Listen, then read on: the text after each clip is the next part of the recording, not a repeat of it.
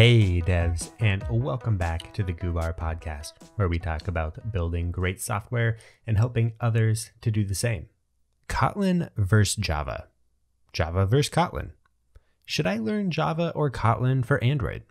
What's better for Android, Kotlin or Java? I get these questions a lot. I see these questions a lot. And for new Android developers, I think it makes perfect sense that there would be confusion and questions around which language to use for Android. So, in this week's episode, I wanted to revisit these questions, and rather than my usual long winded explorations of the topic, I want to give some quick, opinionated answers to help developers develop their language learning plans.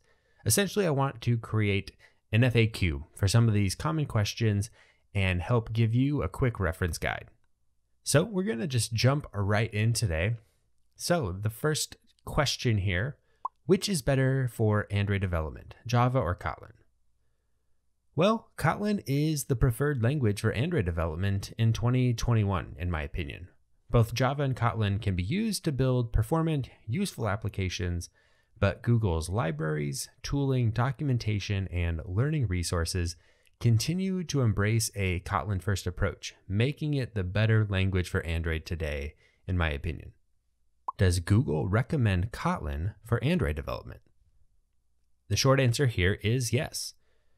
Google recommends developers start building Android applications with Kotlin and has taken an increasingly Kotlin first approach to modern Android development.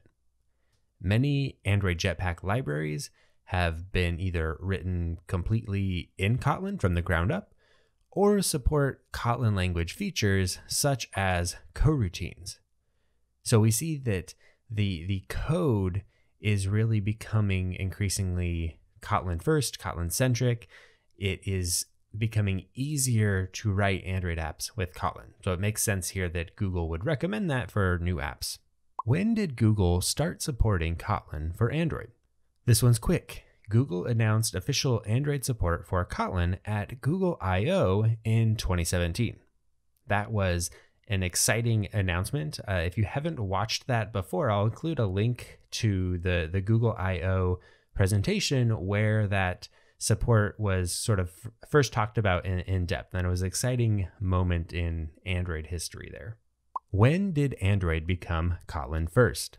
Google adopted their Kotlin first approach to Android at Google I/O in 2019.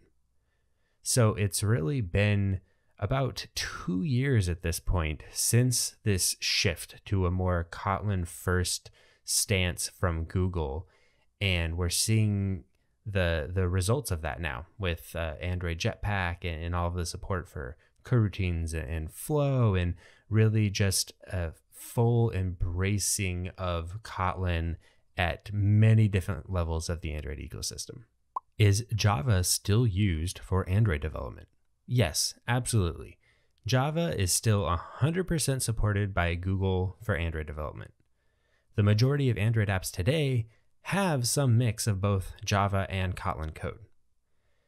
Developers can build the same functionality with Java as they can with Kotlin.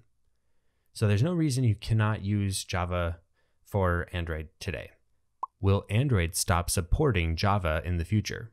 It's unlikely that Android will stop supporting Java at any time soon. The Android SDK is still mostly written in Java.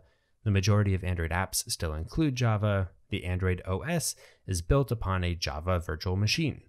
To move away from Java completely would represent a monumental shift in the Android ecosystem, and it's one that I think is unlikely to happen anytime soon.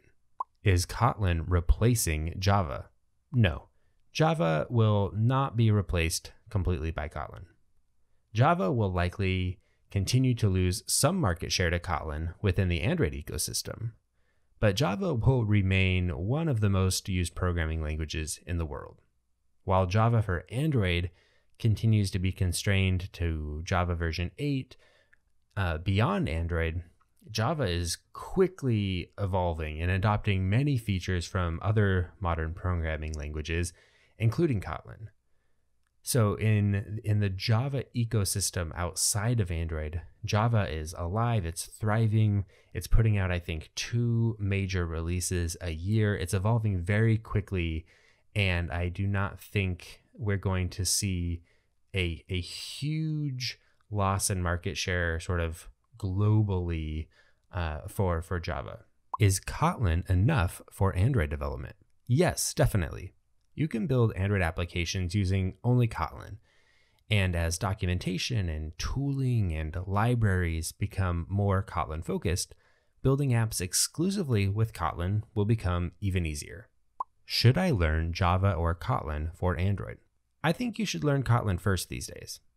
If you have to pick between learning Java or Kotlin to start developing Android apps, you'll have an easier time using current tools and learning resources if you know Kotlin. If you already know Java and really want to just focus on the Android part of things, then you could defer learning Kotlin in favor of focusing on the Android SDK. You could get comfortable with the fundamentals of Android development and then start picking up Kotlin on the side. In my experience and in experience with chatting with others, if you do know a little bit of Java, picking up Kotlin is a pretty fast thing, at least to the point where you feel comfortable writing it. Maybe it's not perfectly idiomatic, but you can start using it. So it's really not a huge time investment to pick it up after the fact. Can I learn Kotlin without knowing Java? Yes, I think so. While knowing Java or any programming language will make it easier to learn Kotlin, Kotlin is a great first language thanks to things like static typing, type inference, and an abundance of learning resources uh, and also, it has really strong IDE support. And so it points out common errors and mistakes for you and has useful, you know, refactoring tools and such. All of these things can make it really easy to start playing with a language and, and learning that language. Is Kotlin easier than Java? Many will find Kotlin easier to learn and write than Java. A number of things factor into this experience, including Kotlin's concise syntax, type inference, explicit nullability, and extensive standard library. With all the modern languages out there being very sort of concise and, and expressive, I think when we compare Kotlin to Java, especially in the Android space, where again we're constrained to old versions of Java, Kotlin feels easier to use for most developers that I talk to. Certainly not everybody, but for many developers that I talk to, they do feel that Kotlin is easier. Is Kotlin faster than Java? The short answer here is no, although the true answer depends on what performance metrics you are interested in. At runtime, the performance of the languages is very similar. This is maybe not that surprising given that we're using the same sort of underlying JVM bytecode for both languages. There might be some performance differences based on kind of the efficiencies of the code you write. And certain languages might make that easier or more difficult to write efficient code. Particularly in the Kotlin side, we do a lot of things with uh, collections and standard library uh, functions and, and filtering and chaining and mapping and such. And it is possible to write inefficient code that way. Uh, but it's not inherently uh, slower necessarily significantly at runtime. However, at compile time, Kotlin is measurably slower than Java. The extent of the slowdown depends on a number of factors, such as the usage of annotation processors and the presence of mixed Java and Kotlin source sets. But in the largest sort of investigation into this that's been sort of published or that I've run across, kind of across the board, there was a slowdown in compile times for Kotlin code.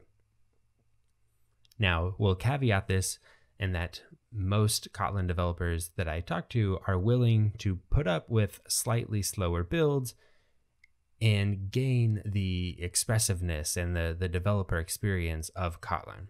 So it's a reasonable trade off for most Kotlin developers.